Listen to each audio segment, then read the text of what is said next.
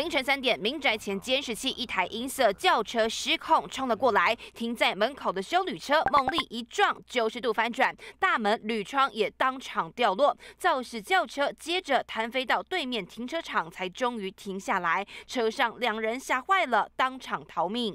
嘣一声，我想讲爱困到到一点才困，啊想讲嘣一声，反正开卡电话讲我的车去用弄掉，出来看到这副惨样啊！民宅红砖墙被撞破一个大洞，地上长长沙。刹车痕，车祸现场一片凌乱。原本只一条，哎，哦，这弄破哟！爱车无辜被撞烂，车主好无奈。警方调查，肇事驾驶没有驾照，年仅十五岁，而车上两人竟然都只是国中生。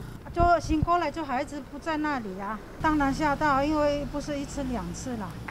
小孩闯祸，妈妈来擦屁股，一早就到现场向受害屋主道歉再道歉。妈妈说，儿子正值叛逆期，很难教，之前就会偷骑机车，把机车藏起来，儿子竟然偷开车，这回闯下大祸，撞破民宅围墙，又撞坏别人的车。两名国中生实在大胆，偷爸妈的车，无照上路，两方家长也得负起连带的赔偿责任。记者孟辉彰化报道。